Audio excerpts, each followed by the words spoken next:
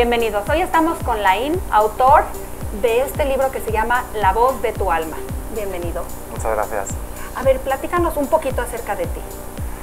Bueno, soy Laín, autor de La voz de tu alma y llegué a todas estas conclusiones porque con 14 años yo era deportista de élite, me diagnosticaron una enfermedad, una enfermedad incurable, supuestamente, incurable es curable desde dentro.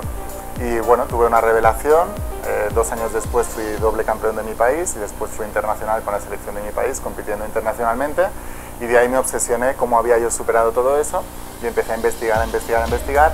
Y a la escritura del primer tomo me había leído ya más de 700 libros del tema. Y, cuando acabé el último tomo, que es el onceavo, me había leído más de mil.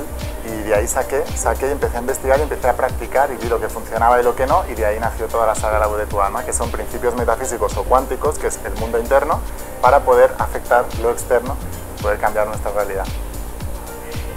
A ver, vamos desglosándolo poco a poco.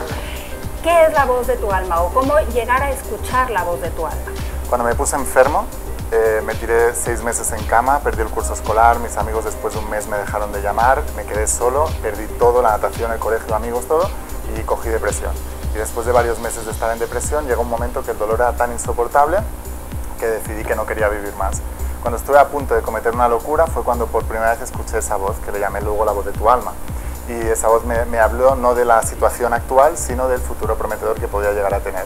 Y ahí empecé yo a obsesionarme con ese futuro, salí de la habitación, le dije a mis padres que quería ser campeón de España, a mis entrenadores, a mis amigos, y bueno, después de superar muchos desafíos, cambié la parte interna, que es lo que había creado la enfermedad, y después pues me convertí en doble campeón. Y ahí fue la primera vez que escuché esa voz interna, que algunos le llaman intuición, en el mundo de los negocios le llaman tener olfato para los negocios, cada uno le pone un nombre, yo le llamé la voz de tu alma. Ahora, otra vez más adelante en tu vida tuviste una epifanía después de algo muy malo que te pasó. Cada vez parece que cada vez que te pasa algo muy malo en tu vida, sacas lo bueno convirtiéndolo en algo positivo. ¿Cómo podemos hacer esto? Yo llevaba 10 años queriendo escribir La voz de tu alma, porque desde los 12 años ya leía metafísica, espiritualidad y soñaba con poder dedicarme a eso, pero lo iba aplazando por el miedo al que dirán el no sentirse preparado, el miedo al que dirán, el encajar en la sociedad. Bueno, y, aparte nadie quería publicártelo. Sí, pero bueno, eso no era tan importante eso, sino como que mis amigos aceptaran lo que yo estaba haciendo. Un deportista élite hablando de estas cosas, imagínate, no era una locura. Pero el universo siempre, Abraham Maslow decía, que era el psicólogo de la, que hizo la pirámide de las necesidades, lo que uno puede ser, debe ser. Y el universo te va a forzar a eso siempre. Pues a mí me pasó que me llamó mi mejor amigo de toda la vida una noche y me dijo, me ha acostado con tu pareja. Y le sacaste lo positivo a eso, increíble. Bueno, me quedé solo porque mis amigos se posicionaron de su lado. Yo dije, yo me salgo de este grupo de chat, no quiero estar con gente con este nivel de valores. La única diferencia de que se ha acostado con mi novia y no con la tuya es que la mía le ha gustado más, pero te podría haber pasado a ti también. Yo me voy aquí, no quiero saber nada de esto. Y en mi soledad, como no tenía que guardarle cuentas a nadie, fue cuando por primera vez en mi vida dije, ¿quién soy yo? ¿Qué quiero hacer? ¿Dónde voy? Y de ahí nació la voz de tu alma. Dinos, por ejemplo, algunos principios que aprendiste y aplicaste a tu vida con este cambio de vida y de pensamiento. Lo primero es hacerte 100% responsable. Si tú crees que alguien o algo o alguna institución o el país donde has nacido o tu pasado o la falta de un título o la falta de cualquier cosa está impidiendo que tú logres lo que quieras, le estás dando poder a las cosas externas. La mayoría de la gente le da demasiado poder a las personas de alrededor. ¿Cuántas veces hemos hecho algo para que los demás no se desilusionen? ¿O hemos dejado de hacer algo para que los demás no se desilusionen? Siendo nosotros los perjudicados. Tiene que uno que darle la espalda a la mente y girarse hacia su alma. Y desde ahí empezar a tomar decisiones. ¿Y hablabas de un experimento con unos frijolitos?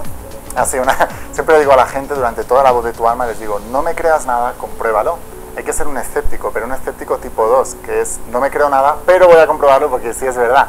Que planten dos frijoles con dos algodones en dos vasitos transparentes y que a uno lo etiqueten literalmente con una palabra bonita, felicidad, amor, ilusión, lo que sea, y al otro simplemente nada. Durante el día, al que le han etiquetado, tienen que pensar en él bendiciéndolo. Bendiciéndolo significa bien decir.